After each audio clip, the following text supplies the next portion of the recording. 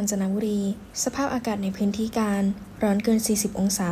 แต่โค้งสุดท้ายผู้สมัครแต่ละพักยังเดินขอคะแนน แม้จะร้อนเพียงใด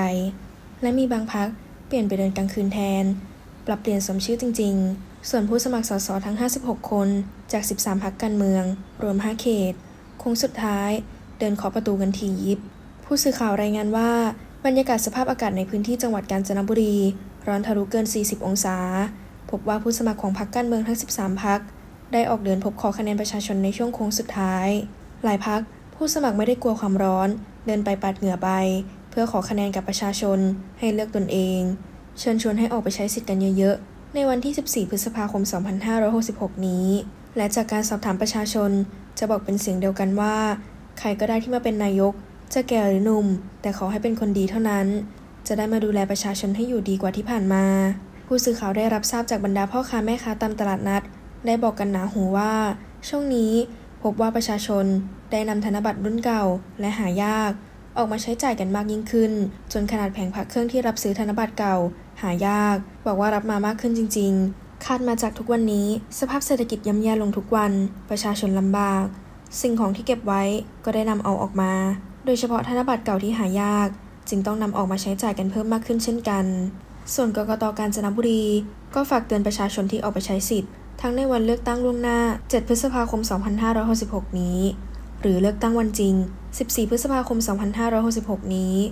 ขออย่าได้สวมใส่เสื้อที่มีโลโก้ของพรรคใดพรรคหนึ่ง หรือเบอร์พรรคเข้าไปใช้สิทธิ์ใกล้คูหาเลือกตั้งโดยเด็ดขาด ตั้งแต่เวลา 18 นาฬิกาของก่อนวันเลือกตั้ง1วัน เพราะจะมีโทษหนัก อาจทำให้ท่านถูกตัดสิทธิ์ในการใช้สิทธิ์เลือกตั้ง และมีความผิดในการเลือกตั้ง โดยโทษจำคุกไม่เกิน 6 เดือน และปรับไม่เกิน 10,000 บาท หรือทั้งจำทั้งปรับ จึงขอฝากให้ผู้ที่ไปใช้สิทธิ์ ทราบโดยทั่วกัน และสถานที่การลงคะแนนล่วงหน้า 7 พฤษภาคม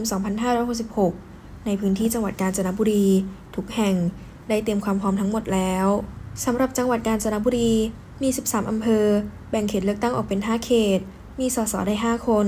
มีผู้สมัครสส56 คน จาก 13 พรรคการเมือง ผู้มีสิทธิ์เลือกตั้งในจังหวัดกาญจนบุรี มีจำนวน 649,009 คน มีหน่วยเลือกตั้ง 1,040 หน่วยเลือกตั้ง แยกเป็นเขตเลือกตั้งที่ 1 มีหน่วยเลือกตั้ง 186 หน่วยเลือกตั้ง ผู้มีสิทธิ์เลือกตั้งจำนวน 132,851 คน เขตเลือกตั้งที่ 2 มีหน่วยเลือกตั้ง 208 หน่วยเลือกตั้ง ผู้มีสิทธิ์เลือกตั้งจำนวน 133,387 คน เขตเลือกตั้งที่ 3 มีหน่วยเลือกตั้ง 208 หน่วยเลือกตั้ง ผู้มีสิทธิ์เลือกตั้ง จำนวน